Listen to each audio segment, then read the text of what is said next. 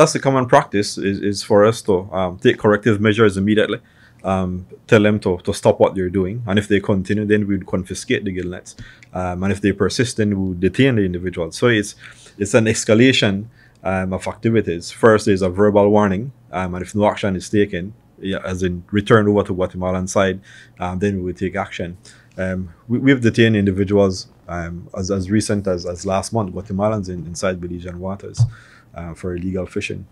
Um, so I, I, think the Guatemalan community there have learned um, the position of the Belizean security forces in terms of um, no fishing activities inside our waters. No, what they've learned is not catch by the Coast Guard, right?